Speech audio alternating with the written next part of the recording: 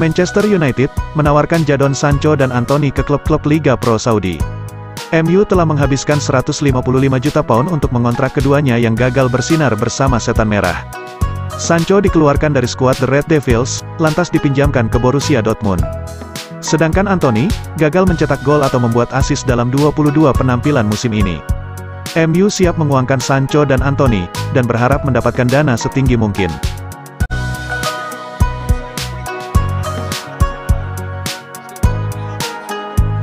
Evening Standard melaporkan, bahwa Setan Merah telah menghubungi klub-klub di Arab Saudi, dengan harapan menemukan klub peminat. Seperti diketahui, klub-klub Timur Tengah menghabiskan banyak uang untuk merekrut bintang-bintang dari Liga Eropa musim panas lalu. MU berharap pelaku 50 juta pound untuk masing-masing pemain, di musim panas mendatang. Manchester United pun berharap Sancho dapat kembali ke performa terbaiknya di Jerman, agar nilai jualnya semakin tinggi.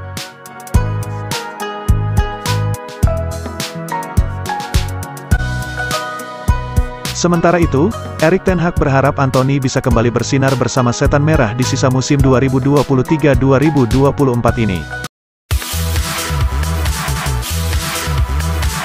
Sir Jim Ratcliffe dan Ineosnya akan segera beraksi, jika investasi 25% sudah diratifikasi oleh otoritas Liga Inggris di Manchester United. Salah satu aksi pertama yang akan dilakukan Ratcliffe yaitu mengusir Casemiro.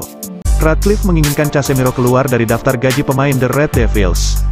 Seperti diketahui, MU mendatangkan Casemiro dari Real Madrid dengan transfer 60 juta pounds pada 2022.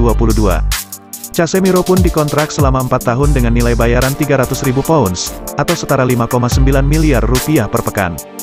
Casemiro memang tampil cemerlang di musim pertamanya, dan membantu MU mempersembahkan trofi pertama, Carabao Cup. Namun belakangan ini Casemiro lebih banyak mengalami cedera, dan performanya menurun.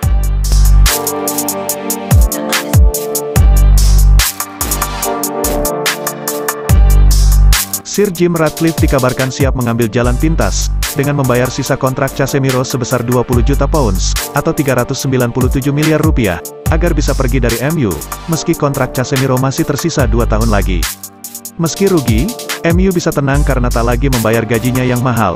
Langkah nekat Ratcliffe ini diambil, mumpung Casemiro lagi banyak peminatnya. Paris Saint-Germain dan beberapa klub kaya Arab Saudi sedang menyusun rencana merekrut Casemiro dari MU.